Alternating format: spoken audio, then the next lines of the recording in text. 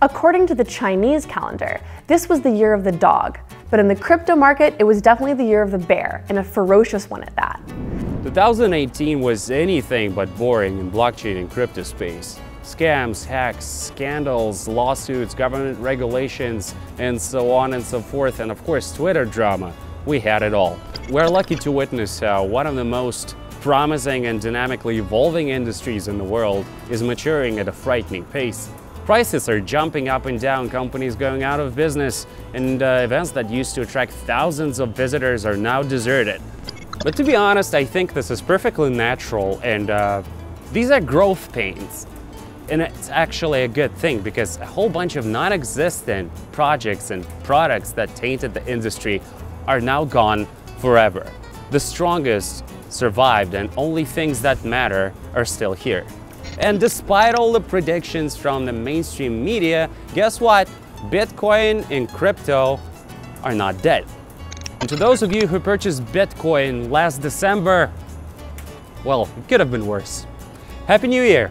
I think that 2018 was definitely a good year, despite the popular opinion.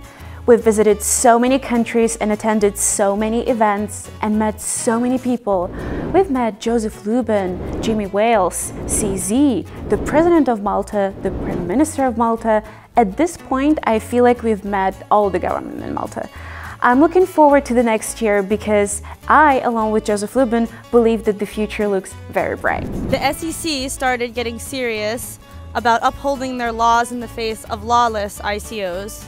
Bakkt was announced, along with rumors and plans from other major institutional players. But I think the most important thing that happened this year was the proliferation of all different kinds of stablecoins. The appearance of all different kinds of stablecoins on the market this year tells me that the market is looking for something else from cryptocurrency.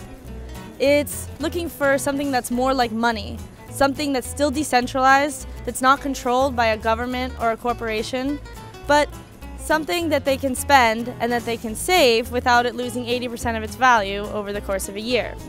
My first ever cryptocurrency conference last January was also my first ever week of work at Cointelegraph, where they sent me to San Francisco with what seemed like a lot of trust and an incredibly rookie reporter. And my first interview? Litecoin founder Charlie Lee, one of the magical crypto friends himself. And he was a totally normal guy. This was the same time as the Coincheck hack, and we spent a while talking about the consequences for the crypto space, explaining things to him that I hadn't fully understood as a complete newcomer, like the legacy of the Mt. Gox hack.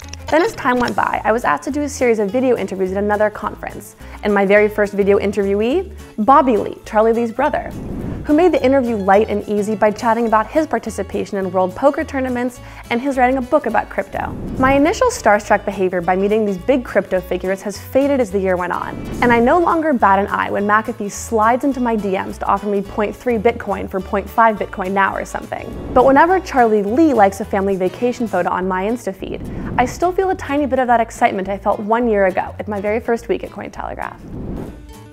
And all of us at Cointelegraph wish all of you hodlers out there a very sincere and bullish 2019. And as always, remember to like, subscribe, and hodl. Happy New Year.